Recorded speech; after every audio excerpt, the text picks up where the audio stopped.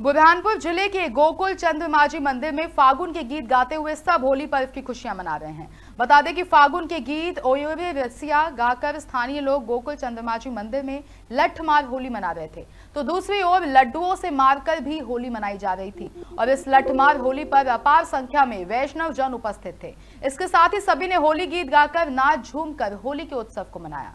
बुरहानपुर से गोपाल देवकर की रिपोर्ट।